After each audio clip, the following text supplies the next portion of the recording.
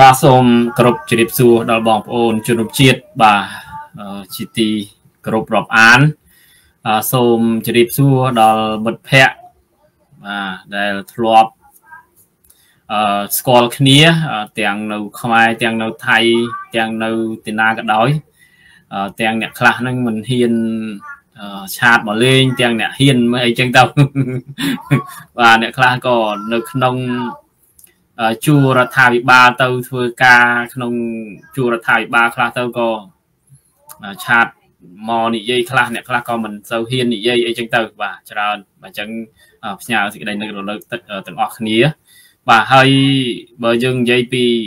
នៅខាងខ្ញុំនេះអាកាសធាតុគឺចាប់ផ្ដើមត្រជាក់តិចតិចហើយបាទគឺចាប់ផ្ដើមរដូវចិត្តដល់រដូវទឹកកកទៀតហើយបាទអញ្ចឹងហើយសម្ដែងសុខភាពអីហ្នឹងគឺធម្មតាទេ បាទអញ្ចឹង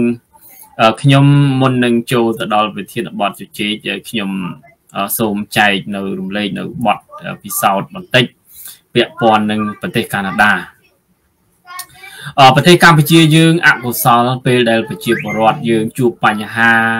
គ្មានការងារធ្វើឬក៏ពិការភាពឬក៏មានពិការតាំងពីក្មេងឬក៏មានសង្គ្រាមពិការឬក៏ពិការអីក៏ដោយគ្រប់បែបយ៉ាង ពេលប្រទេសគេពេលដែលយើងជួបបញ្ហាជាច្រើនដូចនៅកម្ពុជាយើងពេលមានបញ្ហាអីគឺអឺស្រុកគេនេះគឺពេលដែលខ្ញុំមកប្រទេសកាណាដានេះគឺការចំណាយចំណាយទាំងអស់គឺត្រូវធានារ៉ាប់រងដោយរដ្ឋាភិបាលប្រទេសកាណាដាបើខ្ញុំគិត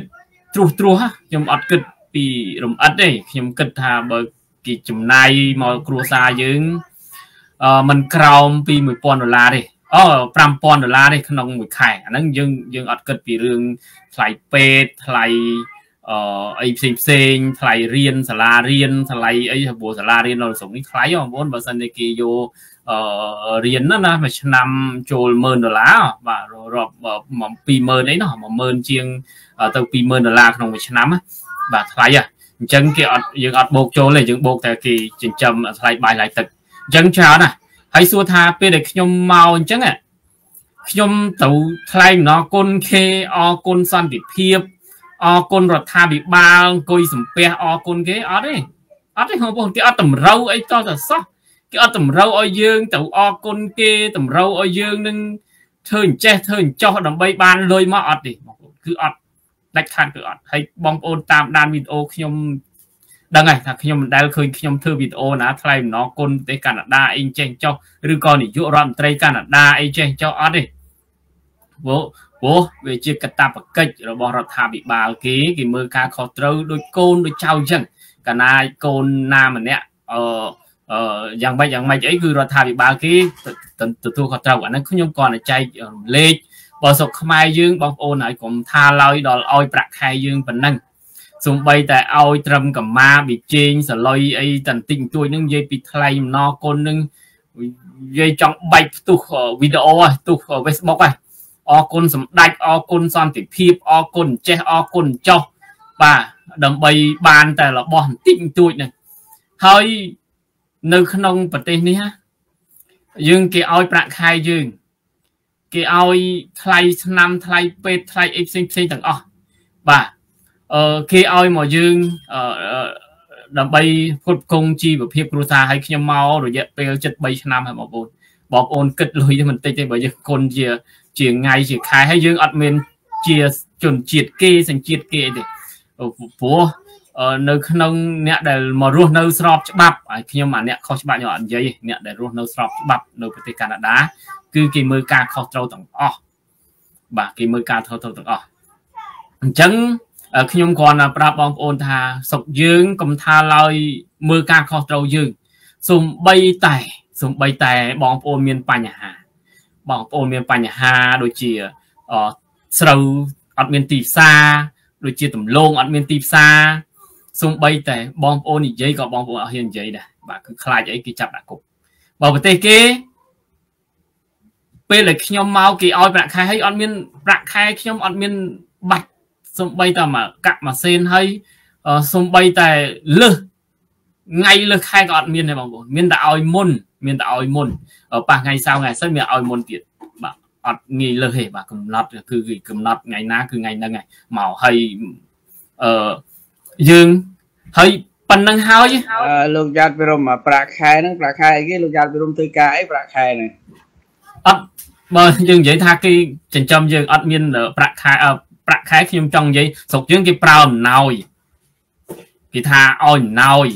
ប៉ុន្តែស្រុកនេះគេអត់ទេគេអត់មានប្រើភាសាអំណោយគេឲ្យលោកយ៉ាត់ពិរមបើតាមខ្ញុំគិតមើលបើយើងនិយាយថាប្រាក់ឧបត្ថម្ភប្រាក់ឧបត្ថម្ភបែបត្រូវជាប្រាក់ខែតើយើងទៅធ្វើការដើម្បីឲ្យគេអានេះលោកយ៉ាត់ពិរមនៅប្រទេសសោះហ្នឹងអានេះប្រាក់ឧបត្ថម្ភ បាទប្រាក់យើងនិយាយទៅគឺបើវាដូចតែប្រាក់ឧបត្ថម្ភវាដូចតែខែដែរព្រោះគេរាល់ខែបើយើងនិយាយថាប្រាក់ឧបត្ថម្ភវាមានពេលឲ្យវាមានពេលអត់តែនេះអត់ទេអឺប្រាក់ឧបត្ថម្ភមានផ្សេងទៀតលោកខាងបន្លាយប្រាក់ឧបត្ថម្ភពេលខ្លះដូចថាអឺគេមានមួយឆ្នាំអញ្ចឹងគេឧបត្ថម្ភតែ3ដងឬ4ដងឯងក្នុងមួយឆ្នាំហ្នឹងមានប្រាក់ផ្សេងថែមទៀត អានេះខ្ញុំចង់និយាយថាបាក់ប្រចាំបដ ாய் ដោយប្រាក់ខែយើងយើងយើងដោយប្រាក់ខែប៉ុណ្ណឹងតែគាត់ថាយើងអត់បានធ្វើកាយទេប៉ុន្តែមូលហេតុអីគេវាមានវ័យឆ្ងាយបើយើងជជែកនៅក្នុងថ្ងៃនេះយើងជជែកអំពីទូទៅឯងយើងអញ្ចឹងខ្ញុំចូលកិច្ចការហ្នឹងហើយខ្ញុំគាត់ថានេះខ្ញុំថ្ងៃនេះខ្ញុំចង់ជែករឿងហ្នឹងរឿងហ្នឹងព្រោះអីព្រោះអីខ្ញុំមើលឃើញចេះខ្ញុំមិនឡាយខ្ញុំមើលឃើញនៅស្រុកខ្មែរយើងពេលដែលប្រជាពលរដ្ឋគាត់មានបញ្ហាធម្មតាយើង មនុស្សយើងពេលដែលមានបញ្ហាយើងទៅពឹងអ្នកដែលដែលអាចជួយយើងបានដូចយើងកូនអញ្ចឹងយើងមានបញ្ហាយើងមិនពឹងឪពុកម្ដាយយើងយើងទៅជែកជាមួយឪពុកម្ដាយយើងមិនអញ្ចឹងជែកជាមួយបងប្អូនយើងទៅជែកជាមួយមិត្តភ័ក្តិតែស្រុកយើងវាចម្លែកពេលដែលប្រជាពលរដ្ឋមានបញ្ហាគាត់ត្រូវការជជែកជាមួយនឹងអ្នកដែលដឹកនាំប្រទេសដូចជាចម្បាច់ខេត្តដូចជាតំណាងរាស្ត្រដូចជានាយករដ្ឋមន្ត្រីដើម្បីដើម្បីឲ្យបើថាយើងទៅទៅជជែកផ្ទាល់វាអត់លឺទេ វាអត់បានទេព្រោះគាត់មិនអាចទៅស្នើសុំជួបនាយករដ្ឋមន្ត្រីបានទេអញ្ចឹងគាត់ធ្វើម៉េចគាត់មានតែបង្ហោះតាមបណ្ដាញសង្គមដើម្បីឲ្យនាយករដ្ឋមន្ត្រីនឹងមើលឃើញថាគាត់មានទុកកង្វល់អីពេលដែលប្រជាពលរដ្ឋយើងគាត់មានទុកកង្វល់គាត់គាត់ផ្ញើសារតាមរយៈបណ្ដាញសង្គមបែជារបបនឹងចោតគាត់ថាបពប្រឆាំងអីចឹងទៅបើមិនចោត ថាបពប្រឆាំងចោតគាត់ថាបង្កឲ្យមានការវឹកវរសង្គមអីចឹងទៅចលាចលសង្គមអីទៅតាមការនឹកឃើញរបស់ពួកគេណាឥឡូវខ្ញុំនិយាយពីរឿងខ្ញុំវិញខ្ញុំអត់យកឧទាហរណ៍អ្នកដតីដោយមិនមិនមិនមានអំណះអំណាងទេខ្ញុំយករូបខ្ញុំខ្លួនខ្ញុំផ្ទាល់ដែលធ្លាប់ឆ្លងកាត់នេះគេឲ្យលុយយើងប៉ុណ្ណឹងហើយគេចិញ្ចឹមយើងប៉ុណ្ណឹងហើយសួរថាគេមិនតាមដានយើងក៏គេមិនខ្វាយខ្វល់ពីយើងទេគេនៅតែខ្វាយខ្វល់ គេនៅតែអ៊ីមែលមកយើងថាតើយើងមានបញ្ហាអីខ្លះដើម្បីបញ្ចេញមតិទៅគេដើម្បីឲ្យគេមានដំណោះស្រាយឬក៏គេចាប់ដើមកែគេនៅគេនៅគេនៅនេះយើងទៀតព្រោះគេខ្លាចខ្លាចយើងខ្វះខាតខ្លាចយើងមានបញ្ហាអញ្ចេះអញ្ចោះអីអញ្ចឹងគេត្រូវការអីគេត្រូវការឲ្យយើងគេគេហៅថាបើបើបើយើងភាសាយើងគេថាស្ទង់មតិស្ទង់មតិហ្នឹងគឺគេចង់ដឹងអំពីកង្វល់របស់យើងដើម្បីគេកែគេដើម្បីគេរកដំណោះស្រាយជូនយើងអញ្ចឹងមិនមែនថាគេទុកយើងចោលដូចក្មេងអាណាថាដូចនៅស្រុកខ្មែរយើងទៅហើយអ្វីដែលខ្ញុំកត់សម្គាល់យើងមើលឃើញថា នៅក្នុងប្រទេសកម្ពុជាយើងហ៊ុនម៉ាណែតគាត់ដាក់គោលដៅអីគេ50ឆ្នាំទៀតคล้ายទៅជាអ្នកមានប្រទេសដែល អភិវឌ្ឍខ្លាំងប្រទេសដែលជឿនលឿនដែលមានប្រាក់ខែខ្ពស់50ឆ្នាំហើយលោកចាត់ពីរំនៅតែប្រហែល2050 2050បាទ2050អញ្ចឹងយើងមិនមែនចេះតែនិយាយទេយើងមិនមែនធ្វើនាយករដ្ឋមន្ត្រីអាងតែមានមាត់យើងចេះតែនិយាយទេយើងត្រូវដាក់គោលដៅធ្វើអីមួយក៏មានគោលដៅដែរអញ្ចឹងគោលដៅអីដែលដែលធ្វើឲ្យខ្លួននឹងអភិវឌ្ឍអឺឲ្យប្រជាពលរដ្ឋនឹងមានប្រាក់ខែខ្ពស់ នៅក្នុងរយៈ2050ហ្នឹងវាយើងគិតទៅវាប្រហែលជា30ឆ្នាំបាទ50ឆ្នាំអញ្ចឹងនៅស្រុកគេនេះបងប្អូនបើមិនជឿយ៉ាងខ្ញុំបងប្អូនជីមានលុយអ្នកជាពិសេសគឺពួកអ្នកមានលុយដែលដែលដែលផ្កាប់មុខមួយរបបហ៊ុនសែនណាណាថាមិនជឿឥឡូវបងប្អូនជីមកមើលស្រុកគេថាតើនៅក្នុងប្រទេសកាណាដានឹងមានក្មេងអនាថាដើររើសសម្រាមតាមទីសាធារណៈអត់ តែបើចាស់ខ្ញុំអត់និយាយណាចាស់ព្រោះអាយុ18ឆ្នាំរដ្ឋាភិបាលគេ គេបកលសិទ្ធឲ្យហើយអ្នកឯងចង់ដើរដេកតាមផ្លូវអ្នកឯងចង់មិនធ្វើការអ្នកឯងចង់ធ្វើអីជាសិទ្ធិរបស់អ្នកឯងទេប៉ុន្តែកតាបកិច្ចរបស់រដ្ឋាភិបាលគេចិញ្ចឹមគេមិនមែនមិនចិញ្ចឹមទេទោះបីអ្នកឯងដើរពីលីអាវ៉ាសាយក៏ដោយរដ្ឋាភិបាលគេចិញ្ចឹមប៉ុន្តែគ្រាន់ថាមនុស្សយើងមួយចំនួនគាត់រើសយកផ្លូវហ្នឹងគាត់អត់ យកលុយដែលគេឧបត្ថម្ភហ្នឹងទៅជួលផ្ទះនៅទេគាត់យកលុយដែលគេឧបត្ថម្ភហ្នឹងគាត់ទៅយកទៅទិញស្រាផឹកគាត់យកទៅដើរលេងអីផ្សេងផ្សេងគាត់សុកចិត្តទៅដើរដេកតាមអាហ្នឹងជាជំរឹះហើយសួរថាគេគេគេធ្វើបានទេបើសិនជាកុំអោយមានពួកហ្នឹងអត់បានគេធ្វើបានប៉ុន្តែគេអត់ធ្វើវាអីវាប៉ះពាល់ដល់សិទ្ធណែតាមពិតណា បើសិនជាប្រទេសកុម្មុយនីសគេគេគេចាត់ការរឿងនឹងឲ្យរៀបរយហើយគេអត់ឲ្យទុកអញ្ចឹងទេប៉ុន្តែពួកយើងដឹងហើយលុយគេចាំតាហើយហេតុអីបានអ្នកឯងមិនទៅជួលផ្ទះគេនៅអ្នកឯងមកដើរដេកពីលាបាសាយអីព្រោះគេគិតថាវាជាសិទ្ធិរបស់គេអញ្ចឹងជាសិទ្ធិរបស់អ្នកឯងទេអ្នកឯងមិនទៅជួលផ្ទះនោះអ្នកឯងនៅតាមអញ្ចឹងអានឹងជារឿងសិទ្ធិប៉ុន្តែខ្ញុំផ្ដោតសំខាន់ខ្ញុំចង់ផ្ដោតរឿងអត់មានក្មេង រឿងអត់មានក្មេងបាទរឿងនេះសំខាន់ណាស់អញ្ចឹងដូចប្រទេសយើងសួរថាវារីកចម្រើនទៅមុខយ៉ាងម៉េចបើនៅចំនួនរបស់យើងរាល់ថ្ងៃហ្នឹងណាសួរថាក្មេងប្រមាណសែនអ្នកដែលអត់បានចូលសាលាក្មេងប្រមាណសែនអ្នកដែលព្រាត់ប្រាសចេញពីទៅតាមឪពុកម្ដាយទៅធ្វើខ្ញុំគេនៅក្រៅប្រទេសអញ្ចឹងយើងសួរថាឲ្យប្រទេសយើងនឹងជឿនលឿនយ៉ាងម៉េច បើសិនជាប្រទេសជឿនលឿនបានណាលុះត្រាតែទំពាំងក្រោយនឹងវាខ្លាំងប្រទេសពោពេញទៅដោយចំណេះវិជ្ជាបើថាយើងជាមិនទំពាំងយើងសិតតែអឺអ្នកដែលមិនបានរៀនជ្រៅជ្រះយើងសួរថាអភិវឌ្ឍប្រទេសយើងជឿនលឿនយ៉ាងម៉េចវាជឿនលឿនវាទៅរួចតែក្រមគ្រួសារនិងបពពួកតកូលហ៊ុនប្រាក់ពួកដែលគេគេមានធ្វើអនុក្រមមន្ត្រីឆ្កាទេបើសម្រាប់ប្រជាពលរដ្ឋគឺខ្ញុំមើលឃើញថា វាមិនអាចទៅជឿនលឿនបានទេបាទខ្ញុំសូមប៉ុណ្្នឹងសិនរកខ្ញុំបន្លាយមានអីបន្ថែមបាទសូមអរគុណលោកយ៉ាត់ព្រមបាទពុកម៉ែបងប្អូនប្រិមិត្តទេសតិចនកុំភ្លេចចូលរួមសៀម្នាក់មួយម្នាក់មួយផងបាទដើម្បីបញ្ជូនព័ត៌មាននេះទៅដល់ពុកម៉ែបងប្អូនយើងដែលគាត់កំពុងរវល់ហើយមិនបានចូលទស្សនាហើយក៏ការចូលរួមសៀការជួយចូលរួមទៅ follow គេហទំព័រចូលរួម like ហ្នឹងគឺជាការលើកទឹកចិត្តមួយដ៏សំខាន់ របស់បងប្អូនដែលបានចូលរួមដោយប្រយោលក្នុងការទាមទារឲ្យមានលទ្ធិប្រជាធិបតេយ្យពិតប្រាកដនៅក្នុងប្រទេសកម្ពុជា ក្នុងការទាមទារឲ្យមានការផ្លាស់ប្ដូរជ្រើសរើសមេដឹកនាំល្អដើម្បីអឺបំរើប្រជាពលរដ្ឋរបស់យើងបាក់កណាថ្វាយបង្គំបដិជគុណស្ទីឋានដែលជគុណព្រះអង្គសុខសប្បាយសុខទុក្ខយ៉ាងណាព្រះអង្គថ្ងៃណានិមន្តព្រះអង្គ ជួយផ្សាយនៅគេហទំព័រអវតារកាណាដាបានម្ដងបាទខ្ញុំសូមអនុញ្ញាតស្វាគមន៍អ្នកចូលរួមទស្សនាតិតិនមានសូមជម្រាបសួរសូមស្វាគមន៍លក្ខណៈអ៊ីវលក្ខណៈហើយសូមសុំទោសផងមិនដឹងជា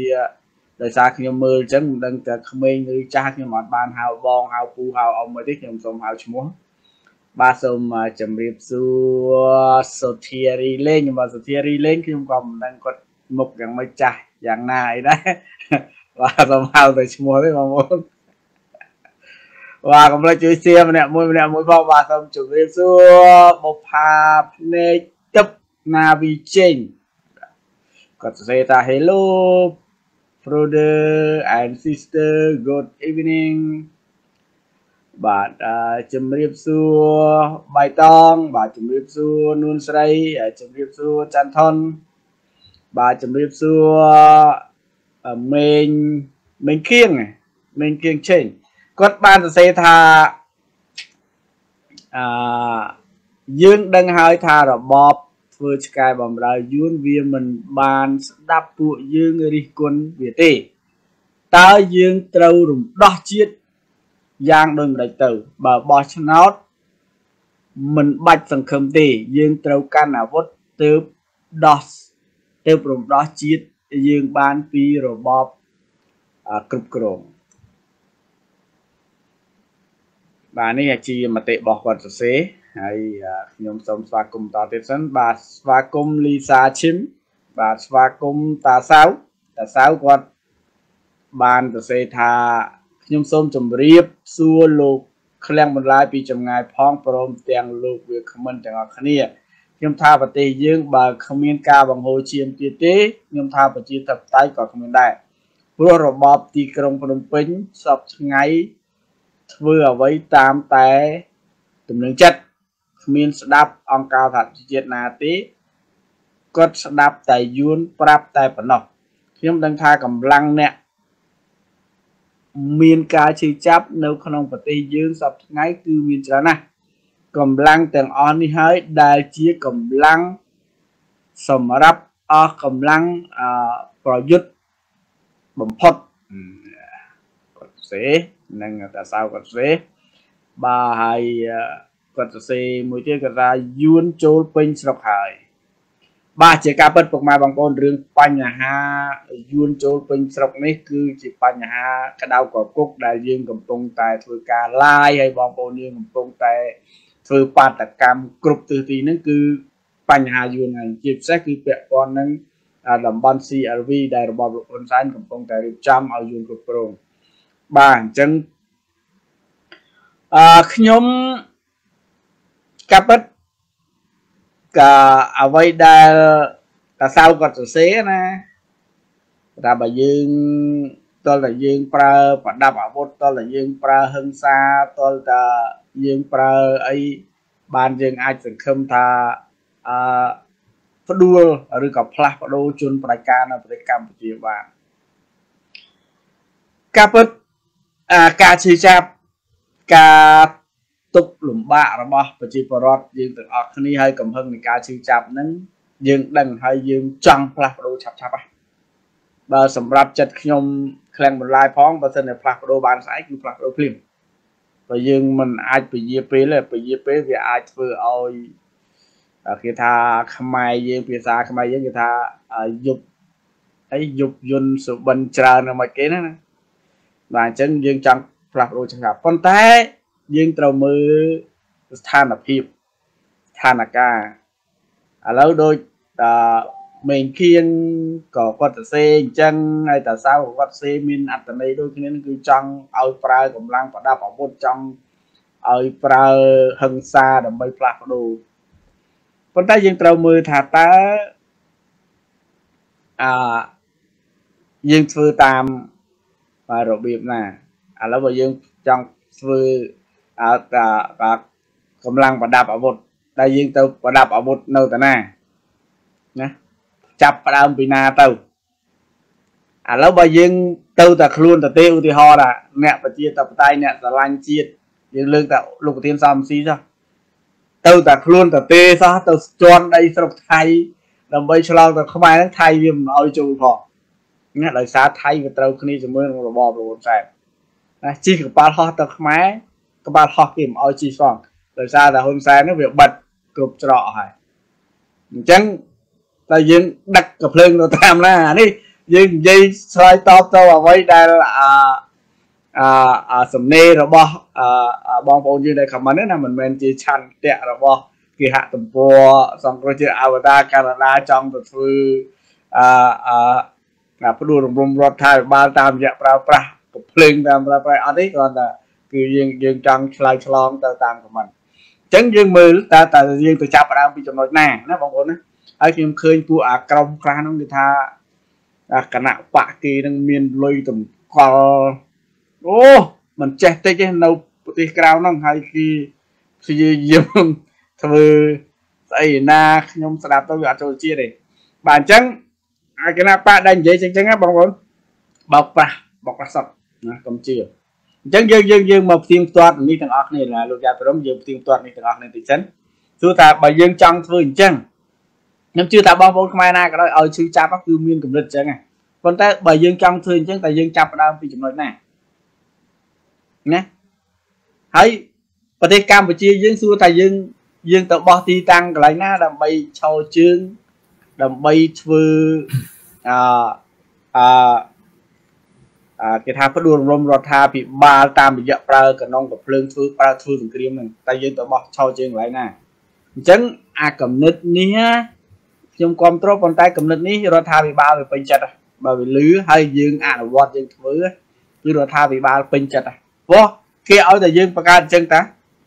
ដើម្បីគេគេយកអឺគេថាគេប្រើ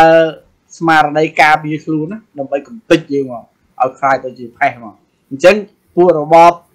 អាប្រជាធិបតេយ្យคล้ายៗនៅក្រុងភ្នំពេញគេគេស្វាគមន៍យើងយ៉ាងនេះបើមិនតែយើងចេញរូបរាងអារបៀបហ្នឹងគឺគេ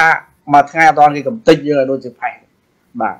អាហ្នឹងគឺច្រកហ្នឹងគឺយើងមិនអាចទៅរួចទេបងប្អូនយើងមិនអាចទៅបង្កើតអឺតំបន់ស្វ័យយ័តណាទៅដាក់កភ្លើងទៅស្អីដើម្បីមិនអាចទេ អឺលោកលោកខាងម្លាយខ្ញុំសូមបញ្ចាំមតិបន្តិចពាក់ព័ន្ធនឹងរឿងនេះអឺខ្ញុំក៏បានឮអ្នកខមមិនច្រើនណាស់បាទចូលក្នុង page របស់ខ្ញុំនឹងគឺច្រើនមែនទែនពាក់ព័ន្ធនឹងរឿងហ្នឹងអឺពេលដែលខ្ញុំឃើញបងប្អូនចេញមតិរឿងហ្នឹងខ្ញុំនឹកឃើញដល់កាលពីចំនួនលុនណុលកាលនោះគឺយួនបានសម្ដេចនរោត្តមសីហនុបានយកយួនមកនៅក្នុងប្រទេស បាទហើយធ្វើឲ្យយួនបានមិនទៅវិញទេកាលហ្នឹងបាទគឺសងំនៅក្នុងប្រទេសកម្ពុជា ដំណាក់ចុងក្រោយយើងឃើញថាលន់នល់ជាអ្នកស្នេហាជាតិបាទបារម្ភខ្លាចបាត់បង់ទឹកដី បានធ្វើរដ្ឋប្រហារទម្លាក់សៀនុឥឡូវយើងមករបត់នយោបាយនៅពេលនេះបងប្អូនយើងខមមិនថាអឺពេលខ្លះបងប្អូនយើងគាត់ឈឺចាប់ពេក គាត់ឈឺចាប់ពេកគាត់មិនដឹងថាធ្វើម៉េចបើថាបើសិនជាគាត់ថាបើគាត់ចេះសិលគាត់ជប់ឲ្យហ៊ុនសែនកើតអាចគោភ្លាមមកឬក៏គាត់ធ្វើឲ្យឈ្នះភ្លាមហើយអ្វីដែលគាត់គិតគាត់ថាមានតែធ្វើសង្គ្រាមទេដែលអាចយកឈ្នះរបបហ៊ុនសែនបានអឺការយល់ឃើញហ្នឹងវាមិនខុសទេបងប្អូនវាមិនខុសទេប៉ុន្តែក៏វាមិនប្រកាសថាត្រូវដែរ ចឹងយើងត្រូវមើលលោកខ្ញុំម្ល៉េះគាត់ថាទៅមើលរបត់នយោបាយយើងធ្វើសង្គ្រាមលុះត្រាតែយើងមាន គេហៅថាខ្នងបង្អែកខ្នងបង្អែកឥឡូវហ្នឹងរបត់នយោបាយនៅក្នុងប្រទេសកម្ពុជាវាយ៉ាងម៉េចវាប្រជាធិបតេយ្យខ្លែងខ្លាយប៉ុន្តែអន្តរជាតិគេជួយយើងតាមរយៈប្រជាធិបតេយ្យពួកប្រទេសយើងបាន បានគេហៅថាជាប់មាត់ចំកឬក៏ដាក់កិច្ចសន្យាជាមួយនឹងអន្តរជាតិថាប្រទេសយើងដឹកនាំតាមប្រជាធិបតេយ្យអញ្ចឹងគេដឹងតែតាមហ្នឹងឯងអញ្ចឹងបងប្អូនថាចុះបើប្រជាធិបតេយ្យយ៉ាងម៉េចបើហ៊ុនសែនមិនព្រមឲ្យយើងបោះឆ្នោតអញ្ចឹងបងប្អូនទៅមើលអំពីច្បាប់អំមើអំពីសិទ្ធិក្នុងការបញ្ចេញមតិតាមបែបបទប្រជាធិបតេយ្យ យើងធ្វើនៅ យើងអត់ទាន់ធ្វើទេ យើងអត់ទាន់ធ្វើតាមបែបបទប្រជាធិបតេយ្យទេអ្វីដែលយើងអត់ពេញចិត្តយើងទៅធ្វើម៉េចទៀមទាអញ្ចឹងយើងឃើញថានៅមានតែនៅខាងក្រៅប្រទេសទេដែលកំពុងតែទៀមទាប៉ុន្តែនៅក្នុងប្រទេសគឺអត់មានទេអញ្ចឹងយើងអត់តន់ប្រើសិទ្ធិរបស់យើងឡើយទេអញ្ចឹងអបងបងប្អូនថាអេបើប្រើសិទ្ធិអ្មិចបើបើទៅគេចាប់បើទៅគេមកអឺមិនអោយធ្វើ តាមបែបបទប្រជាធិបតេយ្យអត់មានណាឲ្យយើងធ្វើទេហើយក៏អត់យើងអត់ចាំបាច់ទៅសុំច្បាប់គេដែរច្បាប់បាតកម្មច្បាប់កោតកម្មអីហ្នឹងគឺយើងអត់ចាំបាច់ទៅសុំច្បាប់ទេគ្រាន់តែជូនដំណឹងទេអញ្ចឹងខ្ញុំថាយើងអត់ទាន់ប្រើគ្រប់វិធីសាស្ត្រនៅឡើយទេ យើងមិនមែនថាយើងអឺ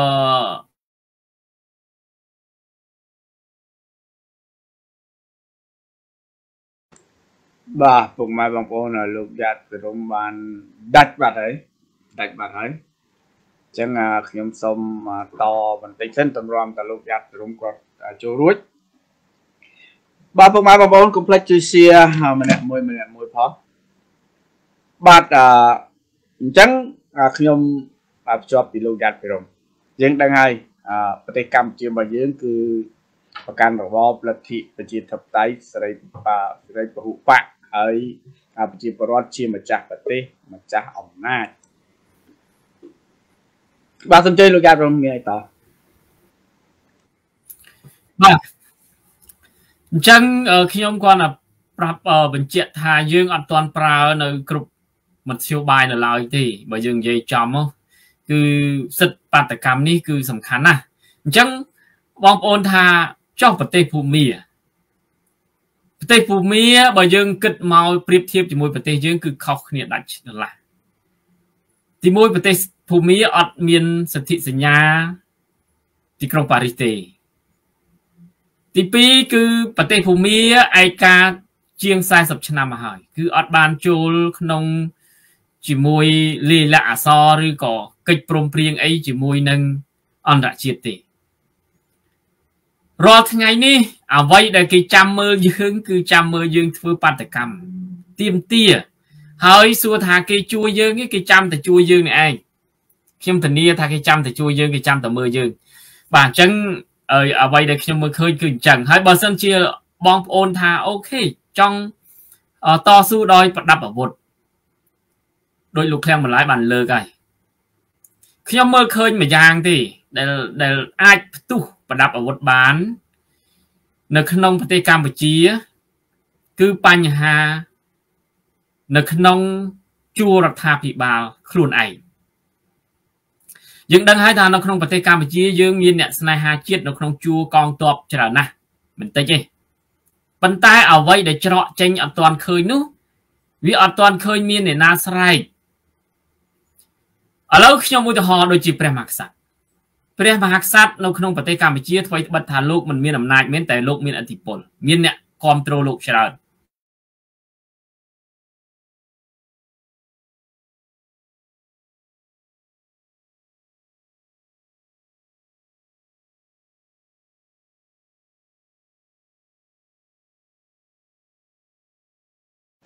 បាទលោកយ៉ាត់ព្រមដាច់ទៀតហើយប្រហែលជាអាចមានអ្នកណាខលចូលគាត់អឺធ្វើឲ្យគាត់ដាច់រហូត បាទហើយខ្ញុំសូមស្វាគមន៍បងប្អូនយើងតិចសិនមុននឹងលោកយ៉ាត់ព្រមគាត់ចូលមកបានបាទសូមអឺសូមស្វាគមន៍សូមសូមសូមស្វាគមន៍អ្នកចូលរួមតិចសិនលោកយ៉ាត់ព្រមចាំបន្តទៀតបាទសូមស្វាគមន៍អឺមកបពាបាទសូមស្វាគមន៍ប្រមាប់បាទសូមស្វាគមន៍អាន KH អាន KH គាត់សរសេរថាចុះ ឥឡូវនេះសំបីតែលោកគូរងឈុនក៏ពួកវារករឿងដែរហើយតាសៅគាត់បានសរសេរទៀតថាចំណែកខ្ញុំតែងតែផ្ញើសារតាមរយៈឆាតដើម្បីនឹងឲ្យបាក់ពួកទីក្រុងភ្នំពេញបានដែរហើយមេគៀងក៏គាត់បានសរសេរទៀតដែរគាត់ថាយើងទាំងអស់គ្នាព្រមព្រៀងទទួលយកកិច្ចព្រមព្រៀងទីក្រុងប៉ារីសតម្រូវឲ្យយួនចិនកុំជ្រៀតជ្រែករឿងខ្មែរតែវាមិនស្ដាប់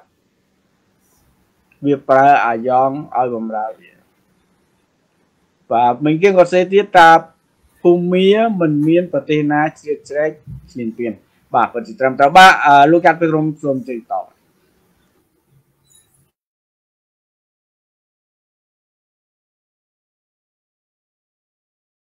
បាទលោកយ៉ាត់ព្រមដាច់ទៀតហើយប្រហែលបងលោកយ៉ាត់ព្រមដាច់ទៀតហើយបាទអញ្ចឹងខ្ញុំសូមបន្តទៅចុះ បាទអញ្ចឹងយើងដឹងហើយថាប្រទេសកម្ពុជារបស់យើងគឺបើយើងពិនិត្យមើលទៅលើរដ្ឋធម្មនុញ្ញរបស់ប្រទេសយើងគឺជាប្រទេសមួយដែលប្រកាន់របបលទ្ធិប្រជាធិបតេយ្យសេរីភូបៈហើយប្រជាពលរដ្ឋជាម្ចាស់ប្រទេសម្ចាស់អំណាចអញ្ចឹងយើងមិនបាច់អានេះជាយោបល់ខ្ញុំណាយើងមិនបាច់គិតទៅដល់ថាអឺទៅបង្កើត អីសង្គ្រាមប្រើអាវុធអីដើម្បីផ្ដួលរំលំរដ្ឋាភិបាលផ្លាស់ប្ដូរទេយើងមិនបាច់គិតទៅដល់នឹងទេណាបងប្អូនណាយើងធ្វើចិត្តឲ្យតិចតិចយើងផ្លាស់ប្ដូរតាមរបៀបអ្នកប្រជាធិបតេយ្យតាមរបៀបមិនបង្កឈាមខ្ញុំជឿថាយើងអាចផ្លាស់ប្ដូរបានបើសិនជាប្រជាពលរដ្ឋខ្មែរយើងទាំងអស់អឺអឺ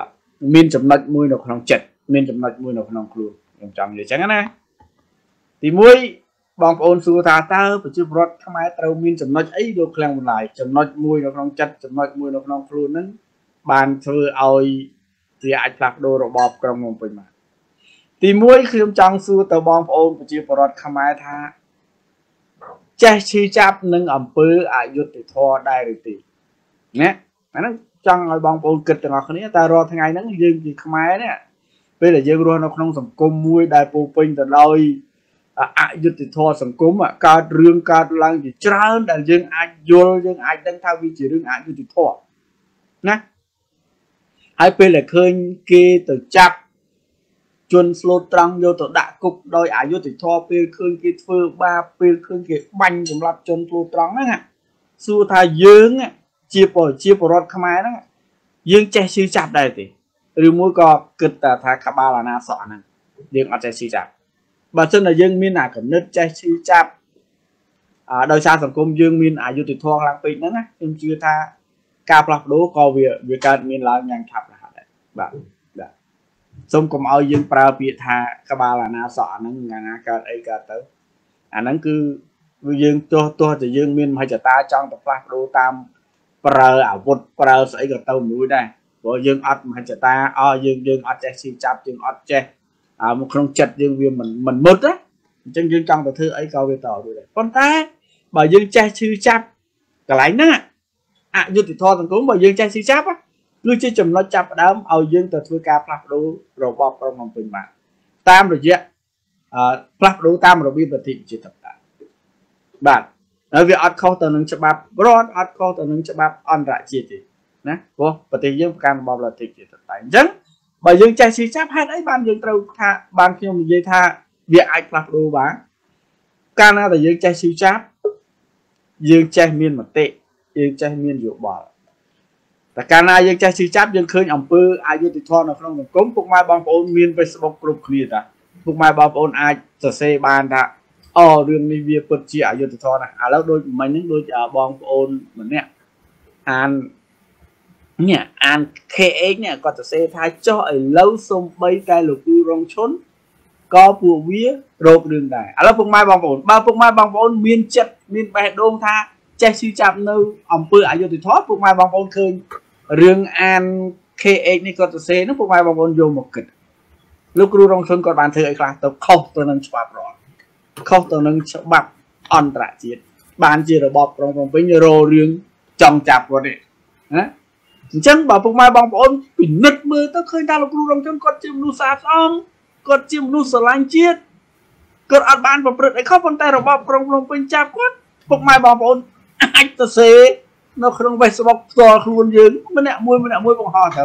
គឺថាជារឿងអយុត្តិធម៌ណាសុំរបបក្រុងភ្នំពេញឬមួយក៏សុំលោកហ៊ុនសែនឬមួយក៏សុំសម្ដេចយើងហៅលួងពួកវាខ្លាចពួកវាចូលយើងហៅពួកវាសម្ដេចទៅណាណា សុំសម្ដេចបវរធិបតីឡើងតាមជើងខោហ្នឹងណាកុំប្រព្រឹត្តកំហុសបន្ថែមទៀតព្រោះលោកគ្រូរងជនហ្នឹងគាត់ជាមនុស្សស្អាតស្អំហើយយើងអាចសរសេរផុសក្នុង Facebook យើងអាហ្នឹងបើយើងចេះជឿចាប់ហើយបើបើយើងមើលនៅក្នុងសង្គមយើងសួរថាតើមនុស្សប្រមាណអ្នកណាមនុស្សគឺថាមកគ្រួសារឬមនុស្សម្នាក់គ្រួសារខ្លះមាន3នាក់ទេប៉ុន្តែទូរស័ព្ទ15គ្រឿង7គ្រឿង6គ្រឿងក៏មានដែរ ប្រើបណ្ដាញសង្គមនឹងប៉ុន្តែសួរថាតើអាបណ្ដាញសង្គមដែលប្រើនោះវាយកមកធ្វើជាប្រយោជន៍ដើម្បីសង្គមជាតិយើងទេអត់អត់ណាយើងអត់ហ៊ានសរសេរផងណាយើងឃើញអំពើអយុត្តិធម៌យើងអត់ហ៊ានសរសេរផងហើយសំបីតដាក់មេដៃមួយយើងមិនហ៊ានផងហើយសំបីតឡាចមួយយើងមិនហ៊ានផងសួរតែតើតែយើងអាចទៅរួមគ្នាទៅធ្វើបដិវត្តប្រើអាវុធមិនបានបើយើងគ្រាន់តែយើងប្រើសិទ្ធខ្លួនយើង ដើម្បីជួយសង្គមជួយអ្នកស្លូតត្រង់យើងអត់ហ៊ានផងហ្នឹងបងប្អូនណាអាហ្នឹងវាផ្ដើមឡើងពីពីចំណុចហ្នឹងបងប្អូនអញ្ចឹងដោយរឿងលោកគ្រូរងសិននេះបងប្អូនអាចប្រតិកម្មតាមបណ្ដាញសង្គម Facebook ណាហើយឥឡូវពុកម៉ែបងប្អូនណាចង់ប្រើផ្ដួលរំលំរបស់ក្រុងភ្នំពេញតាមរយៈចុងកណងតាមរយៈភ្លើងឥឡូវបាយទេចាប់យកឱកាសនេះទៅផ្ដួលរបបក្រុងភ្នំពេញតាមប្រជាធិបតេយ្យលោកឃ្លាំងម្លាយបាទទេខ្ញុំសូមថែមតិចទៀតមិញ លោកឃ្លាំងនិយាយនិយាយចំចំណុចនេះខ្ញុំគ្រាន់តែប្រៀបធៀបឲ្យបងប្អូនគាត់ងាយយល់ណាបើយើងធ្វើបាតកម្មឬក៏យើងបដិញដោយកម្លាំងមហាជន គឺយើងប្រើរយៈពេលអត់យូរទេយើងប្រើយ៉ាងច្រើនកន្លះខែឬមួយខែរបបនឹងដួលហើយតែបើយើងប្រើដោយចុងអាវុធរាប់សិបឆ្នាំបងប្អូនប្រទេសខ្លះ10 20ឆ្នាំក៏អត់ទាន់បានជោគជ័យដែរអាហ្នឹងបងប្អូនទាំងអស់គ្នាត្រូវពិចារណាហើយគិត គិតឲ្យបានវែងឆ្ងាយអញ្ចឹងបើសិនជាបងប្អូនចង់ឲ្យមានការផ្លាស់ប្ដូរដោយលឿនណាគឺមានតែ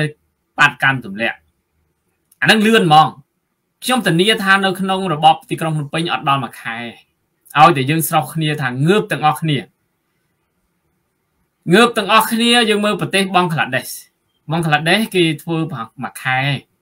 ហើយប្រទេសគេធំប្រជាពលរដ្ឋគេច្រើនណា100លានអ្នកជាង អញ្ចឹងដោយប្រទេសកម្ពុជាយើងងាយណា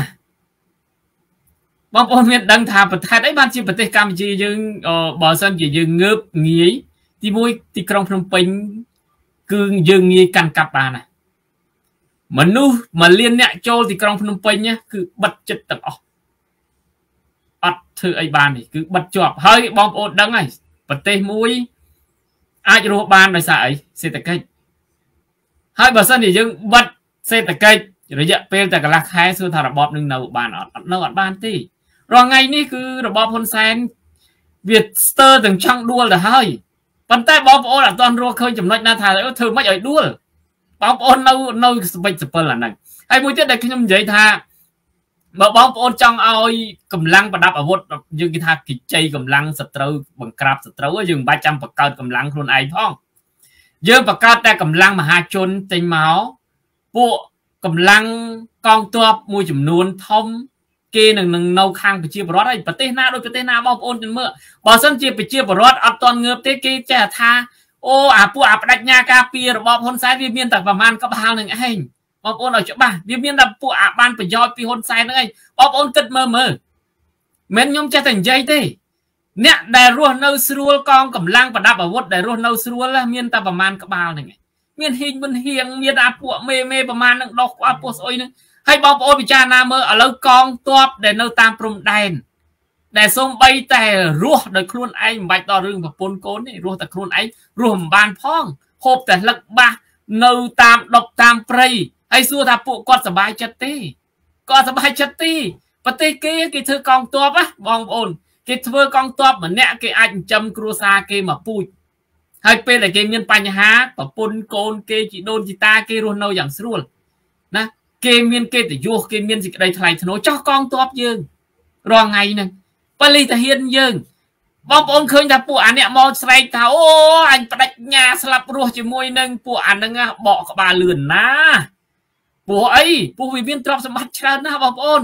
ពេលដែលវាស្មោះស្ម័គ្រនឹងវាចេះតែស្រែកទៅប៉ុន្តែពេលដែលរបបនឹងដួលគឺពួកវាបកមកកំតិចហ៊ុនសែនលឿនណាស់បងប្អូនលឿនណាស់ព្រោះអីព្រោះបើវាមិនបកក្បាលមកការពារប្រជាពលរដ្ឋទេទ្រព្យសម្បត្តិវាវាត្រូវអាលាយអញ្ចឹងវាត្រូវបកក្បាលមកលឿនហើយពួកហ្នឹងណាដូចអាលេងអវត្រាអីហ្នឹងពួកអាចិនក្បាលស៊ីក្បាលស្អឹងកន្ទុយស៊ីកន្ទុយនោះពួកអាស្រ័យចឹងលឿនណាស់បងប្អូនអើយបងប្អូនឥឡូវខ្ញុំមិនបាច់ពិចារណាឲ្យបងប្អូន គិតនៅក្នុងជួរគណៈបកឆាំងក៏ដោយយើងយើងយើងមើលអាខ្លួនយើងសិនយើងខ្ញុំមិនទាន់អាលមើលអាក្នុងរបបពួកអាអ្នកដែលស្រែកពួកអាអ្នកដែលឡាយពួកអាអ្នកដែលជេរហ៊ុនសែនណាពួកអានឹងបកក្បាលទៅចោះចូលមកហ៊ុនសែនលឿនដូចមីលោកស្រីស្អីមួយដែលដែល live តាម Facebook បើជិចជិចជិចជិចជិចមួយថ្ងៃឃើញចោះចូលមកហ៊ុនសែនហ៊ុនសែនចាប់បានបន្តិចអាខ្លះមិនទាន់មកឆ្អិនកពឹសផងដូចអាអី យឹមស៊ីណនដូចអាអីផ្សេងផ្សេងចឹងហ៎អោយតែពួកអាបណ្ដាញសង្គមនឹងអូផុសផលប៉ុណ្ណាពួកនឹងអត់នេះទេចាញ់ទាំងប្រជាពលរដ្ឋទូចតាចសាមញ្ញចាប់ទៅដាក់គុកអ្នកខ្លះជាប់2ឆ្នាំ3ឆ្នាំមិនទាន់ចោះចូលអញ្ចឹងយើងកុំទាន់មើលនៅអារូបភាពអារូបភាពគាត់តែជាការបោកប្រាស់បងប្អូនទេដូចបងប្អូនមានអ៊ំស្រីមួយគាត់ខមមិនមកខ្ញុំគាត់ថាអូឥឡូវគាត់លេងហ៊ានឡាច យ៉ាត់លោកយ៉ាត់ភិរមឲ្យគាត់លេងហ៊ានសែឲ្យដោយសារមានគេចាប់គាត់អញ្ចឹងខ្ញុំអស់សំណើចខ្ញុំសើចខ្ញុំថាអ្នកដែលមើលខ្ញុំរហូតទៅដល់ 2M 3M ក៏មានអ្នកដែលឲ្យមេដៃរាប់ K រាប់រយ K ហេតុអីគ្រាន់តែឃើញអារូបភាពគេចាប់ម្នាក់ពីរនាក់លេងខ្ញុំថាបើសិនជាគេចាប់ត្រឹមអ្នក share អ្នក like អ្នកអីណាមិនមែនម្នាក់ពីរនាក់នឹងទេ រាប់លានអ្នកដូចអ្នកមើល page លោកប្រធានសំរងស៊ីអីរាប់លានអ្នកអ្នកមើលភេកផ្សេងផ្សេងផ្សេងរាប់លានអ្នកអញ្ចឹងអាគាត់គេចាប់ហ្នឹងគាត់ជាការសំដែងដើម្បីបំបាក់ស្មារតីទៅបងប្អូនគេបំបាក់ស្មារតីយើងហើយបើសិនជាគេចាប់គ្រាន់តែអ្នកឲ្យមេដៃជាប់គុកអ្នកឲ្យមេដៃខ្ញុំមិនតិចម៉ឺនអ្នកទេមិនតិចសែនអ្នកទេណាអញ្ចឹងបងប្អូនឈប់ចាញ់បោកទៅណាឈប់ចាញ់បោកអាភិបគេបោកហើយបងប្អូនឃើញលោកសង្ឃមួយដែលដើរបោកប្រាស់ បានលុយរាប់លានគាត់តែប្រើអាមធ្យោបាយបោកប្រាស់គឺប្រជាពលរដ្ឋយើងគាត់ជឿលឿនណាគាត់អត់មើលហើយអត់គាត់អត់សូវពិចារណាទេគាត់ឃើញអារូបភាពមិនគាត់គឺគាត់ជឿគេមកបាទអញ្ចឹងខ្ញុំគ្រាន់តែចេញមតិយោបល់ប៉ុណ្ណឹងទេបើសិនជាបងប្អូនចង់ឲ្យកងទ័ពងើបបងប្អូនទៅងើបមុនកងទ័ពសិនបើបងប្អូនចង់ឲ្យយើងមើលកាលពីលុនណុលយើងឃើញទេលុនណុលបានដេញគាត់លុនណុលឡើងកាន់កាប់មួយផ្លេតគឺ យួនចេញពីប្រទេសខ្មែរអស់លីអញ្ចឹងឥឡូវនេះយើងមើលឃើញទៀតយើងមើលឃើញមួយរយៈចុងក្រោយនេះគឺបងប្អូនមើលតាមដានเพจលោកអ៊ុំសំអានគាត់បានថតបាទថតចេញពីខ្ញុំមិនដឹងថាគាត់ថតឬក៏ Google Map គាត់ថតមកគឺគាត់ស្នើសុំឲ្យគេថតឬយ៉ាងម៉េចណាយើងឃើញគាត់ផុសមកនេះគឺគាត់ថតពី Google ហើយ Google ច្បាស់ជា Google របស់សហរដ្ឋអាមេរិកហើយយើងឃើញថត ពីលើអាកាសមកពីលើអាកាសមកឃើញយួននៅពេញផ្ទៃទឹកហើយនៅក្នុងអាដីសម្បទានសិតតែយួនទាំងអស់มันអាចទេនៅលើពិភពលោកនេះសម័យនេះបងប្អូនมันអាចលាក់បាំងអ្នកណាបានទេហើយជាពិសេសគឺប្រទេសមហាអំណាចដូចអាមេរិកហើយយើងសួរថាហេតុអីបានគេបញ្ចេញអាព័ត៌មានគេថតឲ្យយើងមើលទៀតអញ្ចឹងបានន័យថាម៉េចគេនៅខាងយើងហើយហើយយួនណាខ្ញុំប្រាប់បងប្អូន យួនបើសិនជានៅតែកើនបែបហ្នឹងយួនអត់មានសេចក្តីសុខទេឥឡូវនេះគឺគ្រោះខ្ញុំមិនមែនអបអសាទរទៅដល់នេះទេខ្ញុំមិនចូលចិត្តមេដឹកនាំយួនទេប៉ុន្តែប្រជាពលរដ្ឋយួនខ្ញុំមិនមែនថាទៅខឹងអីពួកគាត់ទេព្រោះគាត់ប្រជាពលរដ្ឋសាមញ្ញដូចតែពួកខ្ញុំដែរអញ្ចឹងគាត់តែមហិច្ឆតារបស់យួនយើងឃើញឥឡូវនេះមានព្យុះមានរំជួយដីហើយប្រទេសយួនយើងដឹងហើយប្រទេសយួនអនាគតទៅវាអត់រស់ស្រួលទេព្រោះអី ប្រទេសយួនយួរប្រទេសគេមិនមែនជាប្រទេសរបស់ខ្លួនឯងជាប្រទេសចម្ប៉ាយួរពីនេះពីបញ្ហាជាមួយចិនណាបញ្ហាជាមួយអាមេរិកអញ្ចឹងមិនមែនជាមានក្តីសុខទេប្រហែលទេអញ្ចឹងបានតែខ្ញុំថាមនុស្សយើងកុំឲ្យមើលវាសនាអឺខ្លួនឯងកុំឲ្យមើលវាសនាប្រទេសដទៃឃើញគេមិនមាត់មិនកមិនមែនមានន័យថាគេព្រមចាញ់យើងទេហាដូចជាពីមុន បាទលោកខ្ញុំឡាយមានអីបន្តតិចទៅបាទបាទពុកម៉ែបងប្អូនប្រិមិត្តទេសជន បាទអឺដោយលោកយ៉ាត់ភិរមលើកឡើងហ្នឹងអឺប្រទេសកម្ពុជាយើង យើងមិនបាច់ប្រាថ្នារហូតទៅដល់យើងទៅធ្វើសង្គ្រាមធ្វើអីដើម្បីផ្លាស់ប្ដូរជនបដិការទេយើងប្រើតែកម្លាំងប្រជាពលរដ្ឋយើងឲ្យតែដូចខ្ញុំនិយាយពីខាងដើមហ្នឹងឲ្យតែប្រជាពលរដ្ឋយើងរួមគ្នា ហើយប្រជាពលរដ្ឋយើងអនុវត្តនៅសិទ្ធិសេរីភាពតាមរបៀបលទ្ធិប្រជាធិបតេយ្យគឺយើងអាចផ្លាស់ប្ដូរជនប្រជាបានទី1ឥឡូវនេះយកខ្ញុំខ្ញុំសូមនិយាយភ្ជាប់ជាមួយនឹងលោកមេងគៀងគាត់ថា ខ្មែរត្រូវការអ្នកដឹកនាំធ្វើបាតកម្មដោយបងប្រាដែរបាទគាត់មានគំនិតល្អប៉ុន្តែខ្ញុំសូមជាគេថាយុទ្ធអនុសាសន៍មួយដែរបាទការពិតអ្នកដឹកនាំ ធ្វើបាតកម្មមិនអត់ទេបងបើអត់អត់អ្នកចូលរួមធ្វើបាតកម្មណាអាហ្នឹងអ្វីដែលខ្ញុំមើលឃើញអ្នកដឹកនាំធ្វើបាតកម្មមិនអត់ទេព្រោះយើងចាំតឱកាសហ្នឹងតាប៉ុន្តែបើអត់គឺអត់អ្នកដែលចូលរួមធ្វើបាតកម្មអញ្ចឹងបងប្អូនស្រុកនេះទៅធ្វើបាតកម្មមិនអត់ទេអ្នកដឹកនាំធ្វើបាតកម្មឥឡូវសួរថាយើងយើងយើងយើងអ្នកខ្លះសួរថាមិនដឹងចាប់ពីចំណុចណាទៅធ្វើបាតកម្មមិនដឹងចាប់ ពីណាចុងពីណាក្បាលខ្ញុំថា ទី1មុននឹងចាប់ឬចំណុចធ្វើបាតកម្មតលតែយើងទាំងអស់គ្នាជាខ្មែរហ្នឹងយើងប្រើបេះដូងយើងថាចេះឈឺចាប់នឹងអង្គើអយុធធម៌ហើយតែពេលណាយើងចេះឈឺចាប់នឹងអង្គើអយុធធម៌យើងត្រូវប្រើបេះដូងយើងចូលរួមដើម្បីរោគដំណោះស្រាយរោគយុទ្ធធម៌ជូនជនរងគ្រោះ អញចូលរួមយើងធ្វើម៉េចបាទចូលរួមយើងទី1យើងបោះសាររបស់យើងនិយាយពីចិត្តរបស់យើងថារឿងនេះវាអយុត្តិធម៌រឿងនោះវាអយុត្តិធម៌សូមឲ្យរដ្ឋាភិបាលគិតពិចារណាយើងនិយាយតែពីល្អល្អទៅយើងមិនបាច់តែប្រើពីគម្រោងប្រជេគេទេយើងយើងសំដែងពីចិត្តយើងជាប្រជាពលរដ្ឋខ្មែរយើងការពីយុទ្ធធម៌យើងនិយាយតែពីល្អល្អទៅប៉ុន្តែយើងមានសេចក្តីក្លាហានក្នុងការផុសក្នុងការសរសេរ ណាអានឹងអានឹងជាបញ្ហាដែលចូលរួមខ្លាំងក្នុងសង្គមជាជើងអញ្ចឹងឥឡូវខ្ញុំនិយាយពីចំណុចចាប់ដើមបើយើងមានចិត្តអញ្ចឹងស្រោះគ្នាហើយចាប់ដើមធ្វើបាតកម្មស្រួលណាឥឡូវយើងលើកពីចំណុចអយុត្តិធម៌មួយដូចបងប្អូនយុវជន5 4 5នាក់ដែលគេចាប់គាត់នោះដែលគាត់អត់បានធ្វើអីខុសនោះគាត់គ្រាន់តែបញ្ចេញមតិគាត់គ្រាន់តែការពារ ណាអ្វីដែលជាសម្បត្តិធម្មជាតិរបស់ខ្មែរនោះហើយប៉ុន្តែត្រូវរបបលោកហ៊ុនសែនចាប់គាត់យកទៅដាក់គុកមកដល់ម៉ោងនេះអត់តលេងគាត់ផងអានេះហើយជាចំណុចដែលអយុត្តិធម៌នៅក្នុងសង្គមដែលយើងគួរតែចូលរួមហើយ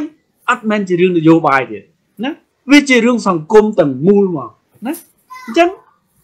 យើងអាចទៅចូលរួមធ្វើបាតកម្មទៀមទាឲ្យដល់លេងពួកគាត់ណាអញ្ចឹងថាអានេះហើយចំណុចដែលយើងអាចផ្លាស់ប្ដូរចំរការណា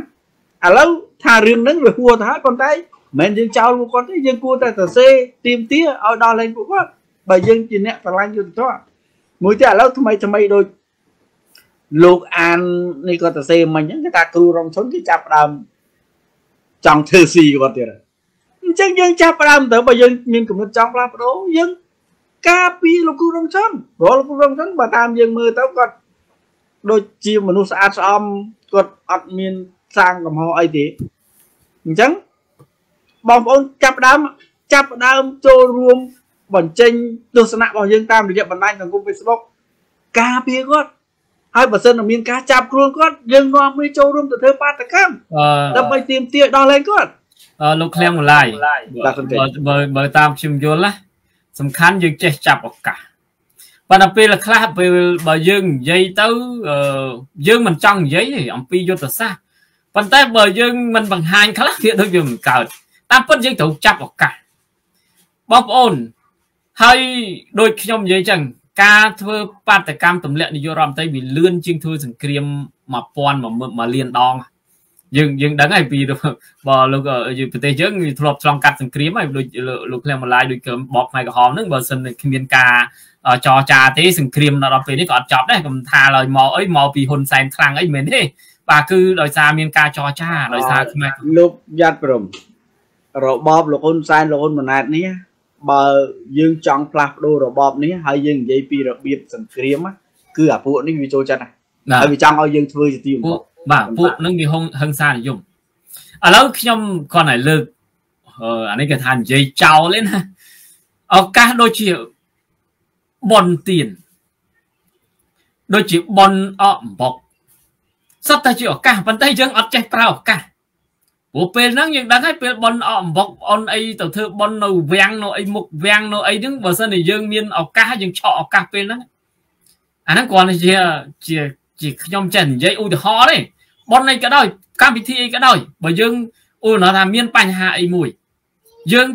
ចេះចាប់ឱកាសអញ្ចឹងឱកាសវាមិនមែនចេះតែមានទេណាមិនមែនចេះតែមានទេអញ្ចឹងឲ្យបានខ្ញុំថាហើយវិធីងាយងាយស្រួលទៀត យើងមិនបាច់ចាំទៅធ្វើសង្គ្រាមអីទេណាយើងមិនបាច់ហើយបើសិនជាមានបងប្អូនយើង còn ចេះបច្ចេកទេសខ្លះណារៀបតែដ្រូនរៀបតែអីហើយយើងចេះវិធីសាស្ត្រអីផ្សេងផ្សេងយើងធ្វើដោយខ្លួនឯងយើងជុំបាច់ចាំអ្នកណានិយាយទេយើងសំខាន់យើងជំនាញហើយដូចជានៅក្នុងទីក្រុងភ្នំពេញហើយវិធីងាយងាយយើងមិននិយាយនេះប៉ុន្តែថាបើយើងចង់ធ្វើងាយដូចជាការ៉ាសាំងដូចជាអីកន្លែងផ្សេងផ្សេង ដុតតែ3 4ការ៉ាសាំងដុតតែផ្ទះដូចយុវជននិយាយដុតតែផ្ទះពួកអាអ្នកមាននឹងវាឡៃតែបលុតអាគីភ័យផ្ទះវានឹងហើយយើងក្តោបយកទីតាំងបានបាទបាទហ្នឹងសំខាន់ឲ្យយើងរៀបផែនការរៀបផែនការអីមួយច្បាស់លាស់ហើយឲ្យយើងយើងថាអូអស់ជំរឿហើយបោះឆ្នោតវាអត់មានជំរឿទៀតទេយើងកុំនិយាយរឿងបោះឆ្នោតបោះឆ្នោតស្អីគេបងប្អូនបោះឆ្នោត100ជាតិទៀតក៏យើងបោះអត់ឈ្នះគេដែរយើងកុំនិយាយព្រោះអីព្រោះអាការរៀបចំការបោះឆ្នោតជាការរៀបរបស់គេហើយគេផាត់យើង អញ្ចឹងមានអីមានតែកម្លាំងមហាជនមួយគត់ដែលអាចផ្ដួលរបបនឹងបានហើយបងប្អូនកុំសង្ឃឹមដូចខ្ញុំនិយាយហើយមិននិយាយទៀតថាកុំទៅគិតអារឿងថាអូពួកអាកងកម្លាំងប្រដាប់អាវុធនឹងស្មោះស្ម័គ្រអីទេបងប្អូនយើងឥឡូវយើងគិតខ្លួនយើងយើងអ្នកក្ររស់អីហូបចុកមិនបានផងយើងរស់ទាំងតដាប់តដុហើយពួកគេសិតតែពួកអ្នកមានមានលុយវល់លៀនហើយសួរថាពេលដែលមានបញ្ហាសួរពួកនឹងនៅតតាំងឯងវាឡើងយន្តហោះរត់បាត់អស់ហើយជឿតែខ្ញុំទៅលុយពួកវាច្រើនណាបងប្អូនច្រើនណាស់ ណាលុយច្រើនណាស់នៅយកមកចេញម្ដងម្ដងបងប្អូនឃើញគាត់ណាបែកធ្លីព័ត៌មានហើយនៅអាពេលដែលយើងអត់ដឹងរាប់ពាន់លានដុល្លារយកមកផ្ញើនៅស្រុកគេហើយសំបីតែផ្ទះហ៊ុនសែនបងប្អូនទៅមើលផ្ទះហ៊ុនសែនធំជាងវាំងទៅទៀតហើយសួរថាទ្រព្យសម្បត្តិអីខ្លះដែលនៅផ្ទះហ៊ុនសែនច្រើនណាស់មហាសាលបងប្អូនច្រើនណាស់សូម្បីតែនាឡិកាហ៊ុនសែនមកគ្រឿងហ្នឹងលក់បានរាប់លានដុល្លាររាប់លានដុល្លារអញ្ចឹង បងប្អូនគិតមើលហើយមិនមែនត្រឹមតែហ៊ុនសែនមួយទេពួកមន្ត្រីក្រាក់ក្រាក់របស់ហ៊ុនសែនទាំងអស់គឺទ្រព្យសម្បត្តិច្រើនណាស់អញ្ចឹងពួកហ្នឹងវារត់តែប្រាស់អាយុទេអញ្ចឹងហើយបាននិយាយខ្ញុំថាឱកាសយើងមានយើងត្រូវផ្ដាប់ឱកាសហើយអន្តរជាតិគេចាំតែជួយយើងទេជឿតែខ្ញុំទៅដូចជាផ្កាយរណបថតទៅពួកអន្តោបាយយួនសួរថាអ្នកណាដែលបញ្ចេញព័ត៌មាននឹងមកថតព័ត៌មាននឹងយកមកឲ្យយើងមើលណាបើគេមិនជួយយើងស្ម័យយើងទៅថតបានអី លោកអ៊ំសំអានគាត់ទៅថតបានអីអត់ទេទាល់តែគេជួយយើងហើយគេជួយយើងនឹងគេចាំមើលតែយើងតាគេចាំមើលថាហើយដល់ពេលយើងថាចាំចាំចាំចាំអាមេរិកមកជួយយើងគេមិនដែលមកជួយយើងដោយអត់មានហេតុផលទេបងប្អូនតលតែមានហេតុផលដូចយួនអីបើគេចង់កំទេចយួនលុះត្រាតែយួននឹងរំលោភមកលើដីកម្ពុជា ដោយប្រើកម្លាំងទ័ព បើសិនជាយួនប្រើកម្លាំងទ័ពមកឈ្លានពានប្រទេសកម្ពុជា គេនឹងជួយយើងគេអត់អបជួយមើលដូចអ៊ុយក្រែនអញ្ចឹងដូចអ៊ុយក្រែនអញ្ចឹងគេជួយហើយអ៊ុយក្រែនបើបើសិនជាប្រទេសអាមេរិកមិនជួយពួកសេរីមិនជួយសហអ៊ុយក្រែនទប់ជាមួយរុស្ស៊ីបានទេអត់បានទេអញ្ចឹងខ្ញុំគាត់តែលើកឲ្យលើកទៀតថាប្រទេសកម្ពុជាយើងទាំងអស់គ្នាយើងកុំតន់បារម្ភអំពីរឿងព្រំដែនបោះបកគោលត្រឹមនេះត្រឹមនោះយើងបារម្ភខ្លាចគេចូលគេដាក់ ប្រជាជនគេមកនៅក្នុងប្រទេសកម្ពុជាយើង វាហានិភ័យថ្ងៃក្រោយប៉ុន្តែបើសិនជាយើងបដូររបបអាបកគោព្រំដែនហ្នឹងគឺធីបចោលទាំងអស់អាកិច្ចព្រមព្រៀងហ៊ុនសែនជាមួយយួនហ្នឹងគឺយើងទាត់ចោលទាំងអស់យើងអត់យកជាជាផ្លូវការទេព្រោះខុសនៅច្បាប់អន្តរជាតិអន្តរជាតិក៏គេមិនទទួលស្គាល់ដែរបាទអញ្ចឹងខ្ញុំគ្រាន់តែត្រួសត្រាសប្រាប់បងប្អូនថា យើងអាចផ្ដួលរបបហ៊ុនសែននេះបាន នៅលើយើងទាំងអស់គ្នានៅលើប្រជាពលរដ្ឋទាំងអស់គ្នាយល់ដឹងអំពីតិចនិចនៃការធ្វើកិច្ចនិចនៃការចេះដឹងរបស់បងប្អូនទេបាទគឺហើយអ្វីដែលបងប្អូនអាចផ្លាស់បានគឺបងប្អូនខ្លួនឯងយើងកុំទៅសង្ឃឹមគេថាអូគេមកជួយយើង100%គឺអត់ទេតើខ្លួនយើងទៀមទាដូចជានៅក្នុងអឺក្រៅប្រទេសមានមតិច្រើនណាលោកខាងម៉ាឡៃដែលថាអូឯងធ្វើបាតកម្មឯងធ្វើអីបានប្រយោជន៍អីឯងធ្វើទៅមិន អញ្ចេះចុះឯងខាត់តែពេលវេលាអីអញ្ចេះចុះប៉ុន្តែបងប្អូនត្រូវដឹងថាប្រហែលថ្ងៃនេះគឺហ៊ុនសែនបាននិយាយថាសេដ្ឋកិច្ចនៅប្រទេសកម្ពុជាធ្លាក់ចុះគឺដោយសារគណៈបពប្រឆាំងបងប្អូនត្រូវស្ដាប់សម្ដីហ៊ុនសែនហើយយកមកពិចារណាថាបាតកម្មអត់មានប្រយោជន៍អីទេប៉ុន្តែហ៊ុនសែនថាសេដ្ឋកិច្ចនៅកម្ពុជាធ្លាក់ចុះដោយដោយដោយគណៈបកប្រឆាំងអញ្ចឹងមានន័យថាម៉េចអញ្ចឹងមានន័យថាគណៈបកប្រឆាំងហ្នឹងក៏ខ្លាំងណាស់ ខ្លាំងធ្វើឲ្យរហូតដល់សេដ្ឋកិច្ចលោកហ៊ុនសែនធ្លាក់ចុះអញ្ចឹងប៉ុន្តែហ៊ុនសែនអត់យកអាហេតុផលមកនិយាយទេគាត់ថាមូលហេតុអីបានគេធ្វើបាតកម្មមូលហេតុអីបានគេទៀមទាគេទៀមទាអីគេអញ្ចឹងដើមចោលមកគឺប្រជាធិបតេយ្យគណៈបករំលាយគណៈបកចាប់អ្នកទោសនយោបាយដាក់គុកចាប់សកម្មជនប្រៃឈើអញ្ចឹងអាហ្នឹងជាដើមចោល អញ្ចឹងបើដល់អ្នកឯងចង់ឲ្យសេដ្ឋកិច្ចនៅប្រទេសកម្ពុជាជឿនលឿនចង់ឲ្យប្រជាពលរដ្ឋជឿនលឿនលក្ខខណ្ឌធ្វើម៉េចទៅដោះលែងអ្នកទោសនយោបាយទាំងអស់អញ្ចឹងអត់មានត្រូវមកចោតអ្នកប្រឆាំងថាអញ្ចេះថាចោលហើយសួរថាយើងឈប់ទេអត់ឈប់ទេយើងទៅធ្វើឲ្យហ៊ុនសែនដួលដោយខ្លួនឯងបាទថ្ងៃមុខថ្ងៃក្រោយគង់តែដួលទេជឿតែខ្ញុំទៅគ្រាន់តែថាបើយើងចង់ឆាប់តតែលះងើបតែបើយើងចង់យូរអាហ្នឹងយើងធ្វើអញ្ចឹងវាយូរហើយវារំទៅបានមានការផ្លាស់ប្ដូរវាយូរអញ្ចឹង ពេលវេលាលោកឃ្លៀងម្លាយមើលម៉ោងហើយបើថាចិត្តដល់ម៉ោងហើយអញ្ចឹងលោកឃ្លៀងម្លាយមានអីបន្ថែមសូមជួយបាទអឺពុកម៉ាបងប្អូនប្រិមត្តទេសជនដើម្បីបើខ្ញុំបើយើងនិយាយពីរឿងបោះឆ្នោតមិញខ្ញុំគិតថាបើប្រជាពលរដ្ឋខ្មែរចង់ផ្លាស់ប្ដូរយើងដាក់គោលដៅផ្លាស់ប្ដូរនៅថ្ងៃបោះឆ្នោតក៏ល្អដែរព្រោះវាអាចស្របទៅនឹងអាគេថាលទ្ធិប្រជាធិបតេយ្យណា ពព្រោះតែបោះឆ្នោតយើងដឹងណាបោះឆ្នោតពួកអ្នកខ្លះក៏ថាមិនបាច់បោះឆ្នោតទេយួនពេញហើយអ្នកខ្លះក៏ថាបោះឆ្នោតស្អីទៀតទេអីរសេអញ្ចឹងបានថាបោះឆ្នោតនោះវាអត់មានសុក្រិតយុត្តិធម៌ត្រឹមត្រូវទេតែការលួចប្លន់មិនឡំទេអញ្ចឹងប៉ុន្តែយើងដាក់គោលដៅមើលថ្ងៃបោះឆ្នោតឆ្នាំ2027ហ្នឹងយើងផ្ដួលរបបលហ៊ុនសែនទៅហើយយើងដាក់គោលដៅបងថ្ងៃបោះឆ្នោតហ្នឹងគឺគេបើកសិទ្ធឲ្យយើងទាំងអស់ជាប្រវត្តិខ្មែរមកប្រទេសហ្នឹង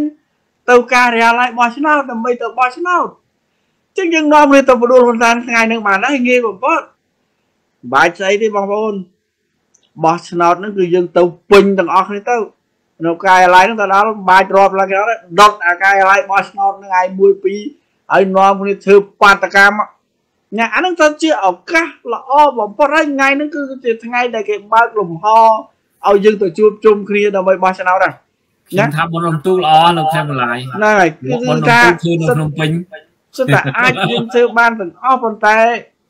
ដើម្បីសង្គ្រោះប្រទេសជាតិមួយនេះមិនមែនយើងនិយាយតែមាត់យើងបានទេណាពុកម៉ែបងប្អូនប្រជាពលរដ្ឋខ្មែរខ្ញុំគិតចេញពីខ្លួនខ្ញុំណាដើម្បីប្រទេសជាតិមួយនេះយើងអាចរំដោះឲ្យផុតពីជនផ្ដាច់ការបានណាតើតែយើងជាខ្មែរនឹងធ្វើចិត្តឲ្យសឿងបន្តិចណាឲ្យក្លាហានបន្តិចឲ្យហ៊ានបន្តិចបានយើងអាចទៅរួចបើថាយើងធ្វើចិត្តស្ទាក់ស្ទើរមុំមុំមិនច្បាស់លាស់ទេតើអត់រួចទេ បាទអញ្ចឹងយើងដោយសារពេលវេលាយើងដល់ហើយខ្ញុំពីអ្នកលោកយ៉ាត់